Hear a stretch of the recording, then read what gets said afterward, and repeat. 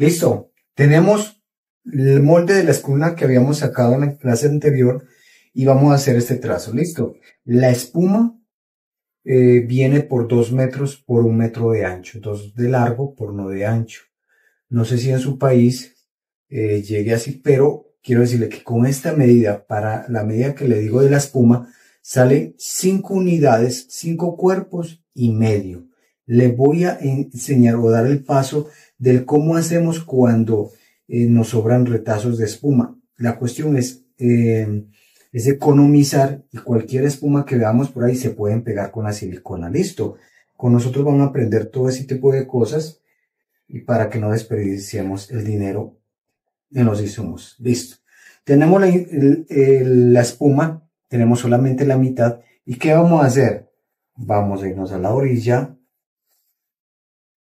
que encaje bien. ¿Qué hacemos? Trazamos. Tenemos que mirar esta parte que quede bien. Entonces, ¿qué hago yo? Hago esto y trazo. O sea, saco dos unidades de espuma con el molde que habíamos sacado. Y ya tenemos la medida o la espuma para nuestra cuna. Y ahorita les voy a decir cómo vamos a empalmar acá. Y vamos a proseguir a cortar.